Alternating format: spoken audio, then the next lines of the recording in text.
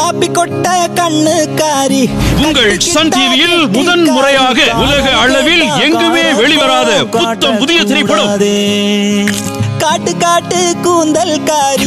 காஜு கத்திலி காது காரி. செப்டம்பர் பத்து வெள்ளிக்கிழமை விநாயகர் சதுர்த்தி அன்று மாலை ஆறு முப்பதுக்கு விஜய் சேதுபதி பார்த்திபன் சத்யராஜ் ராஷிகண்ணா நடித்த துக்ளக் தர்பார் புத்தம் புதிய திரைப்படம் உங்கள் சன் டிவியில் காணத் தவறாதீர்கள்.